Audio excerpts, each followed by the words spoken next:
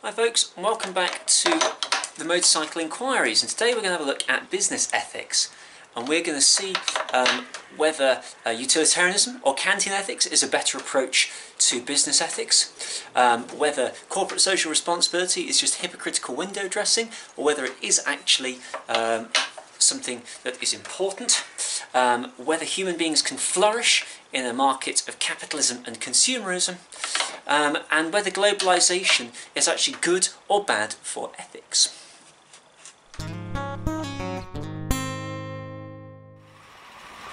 Okay, so regarding business ethics, we need to think about um, Kantian ethics and utilitarianism and how they play in. So first off, we need to think, um, does corporate social responsibility, uh, this idea that businesses have got a responsibility to do more than create profit, have any validity? Now you could say yes, in that uh, there have been some very successful philanthropic businesses tight blind corner. There we go. Yeah, um, so there have been successful philanthropic businesses such as Cadbury, Rowntree, Titus Salt. All of them created um, places for their workers to live. Um, and they did this out of generally religious duties. So, yeah, there is some level of corporate social responsibility there. Adam Smith, the founder of liberalism, who Milton Friedman was inspired by.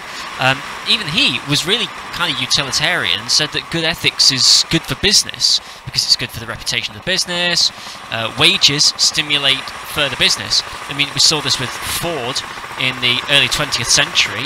Uh, Henry Ford started paying his uh, workers $5 an hour, which was more than any other business, and then his workers bought more capitalist consumerist goods.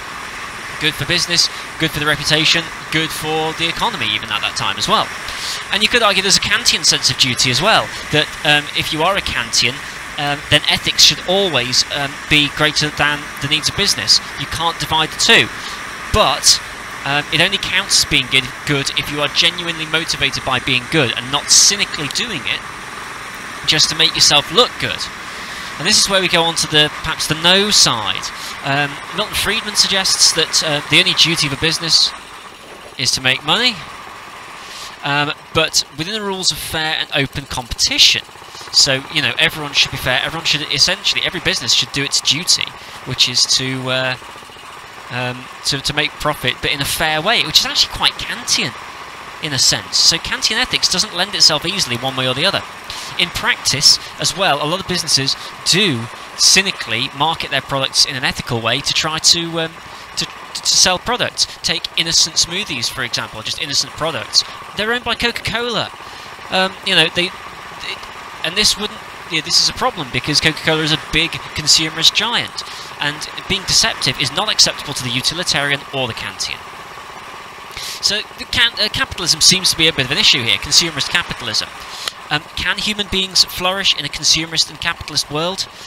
Well, you could argue that some human beings can flourish, um, particularly the ones who make all the money. Um, but mostly you'd say no. Um, not all can flourish because the system is based on self-interest, individualism, competition, uh, and competition involves winners and losers. Self-interest prevents true flourishing. Marx would suggest that capitalism is based on inequality and exploitation, uh, which prevents flourishing. Privatisation often puts profits ahead of social goods, you know, like railways, utilities. Privatisation doesn't actually make it better, it just makes somebody rich. And to Kantians, a consumer, just the idea of consumer, implies using a person as a means to an end. And that breaches the categorical imperative. Um, and we could also consider uh, Morris's idea of useful work versus useless toil. Work is only really useful and positive if there's a hope of rest, a hope of a useful product that can help people's lives, and the hope of some level of satisfaction. Let's just let this guy come past. He's giving me a bit of space. Oh, thank you very much. Thank you. How about you? Yep, thank you too. Alright, so, um, so you can't flourish without those. And there's also the question, does globalization help or hinder good ethical business practice? Um, you could say that it actually it does help good business practice, like a utilitarian would say, it increases the living standards for workers in factories, etc. Um, and also access to communication technology, which comes through mass production across the globe, has helped save lives and expose injustices of some of those businesses themselves. Um, but you could also say that it hinders good ethical practice um, because um, outsourcing to other countries suppresses wages, uh, loss of jobs to other countries um, can damage economies and societies. I mean, look at Flint and Detroit in the state of Michigan, uh, really badly damaged by the loss of the car industry. Um, there's also the exploitation of other countries' workers, poor rights, because uh, countries are desperate to hold on to businesses. That goes against the categorical imperative. So, speaking of categorical imperative, on to Kantian ethics. The strengths of it. It's easy to follow regardless of the size or scale of your business, so good for business ethics. It encourages honesty in employees as well as in employers. So, you know, no more overclaiming of expenses, for example, which uh, employees often do. So you have more trust between employer and employee. Um, and encourages the rights and autonomy and dignity of people in the workplace, which is all good for flourishing. But weaknesses, it's more demanding, sometimes harder to follow um, than utilitarianism. Um, you could argue it's unrealistically high standards to apply to a business and to employees. Hi there. Um, it's unrealistic to ignore profits when businesses are designed to make profit. And the categorical imperative could be unhelpful to businesses that need to make specific decisions in specific circumstances.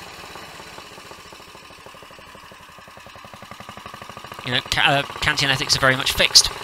And motives are often hard to assess in other people. There are a lot of blind corners around here, aren't there? Uh, yep, okay.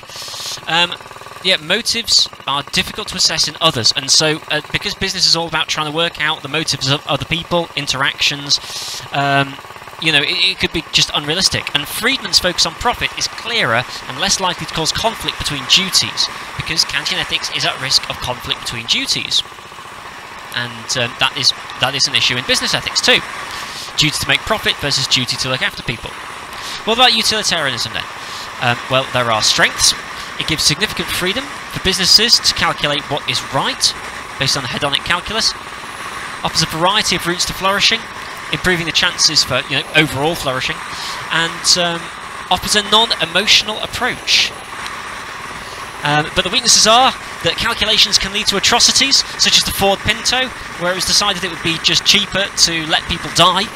Um, Act utilitarianism depersonalises people and removes their rights, which is a real problem. Um, particularly if you're talking about like workers' rights and things. And also, it's hard to make the necessary calculations, especially when many people are involved. What about what happens into the future? So there are lots of reasons why utilitarianism is very difficult to manage. So overall, Kantian ethics is easier um, until you run into some sort of serious difficulty. Utilitarianism is better at avoiding serious difficulties, but is harder in the day-to-day. I think the only thing that can really be taken from this is that consumerist capitalism actually goes against both.